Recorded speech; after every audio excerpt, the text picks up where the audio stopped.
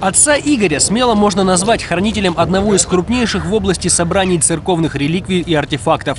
Их вместилище – Христорождественская церковь. Ее в Болхове еще при советах охраняли как памятник архитектуры.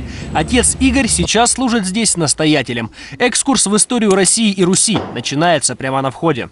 Двери э, в храме сделаны вместе с э, притвором э, и с пристройками в XIX веке.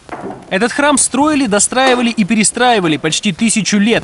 Почти тысячу лет здесь молились, женились и уходили в мир иной и простые смертные, и именитые князья. По преданию, эта церковь – родовая усыпальня князей Милославских. Хотя начался храм задолго до истории их именитого рода. Алтарную часть, она была деревянной, возвели еще в 13 веке.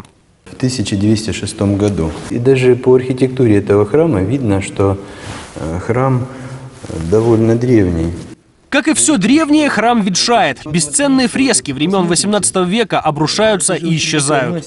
Ну, шелушится, посмотрите, шелушится стена. Но за счет того, что не хватает крыши, железа на крыше не хватает, поступает влага. И поэтому на старинные фрески проступает соль, и начинается шелушение. Посмотрите, как вот уже отслаивается вот кусок, да? Видите, вот Худая крыша – наследие еще советской опеки этого памятника архитектуры. Как и система отопления, ее модернизировали еще после войны. Бога в стране тогда не было.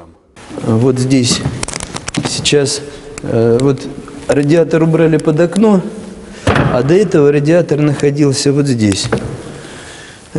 Вот фреска 18 века изображает святителя – Восстановить фрески, некоторые из них наполовину утеряны, заветная мечта отца Игоря. Но сначала нужно сделать крышу и провести в храм тепло. Уже составлялась смета на крышу. Э, около 800 тысяч рублей. Отопление приблизительно около ну, 250 тысяч э, рублей по современным ценам. Итого 1 миллион рублей. Отец Игорь уповает на пожертвования. С Божьей помощью найдутся небезразличные, уверен священник.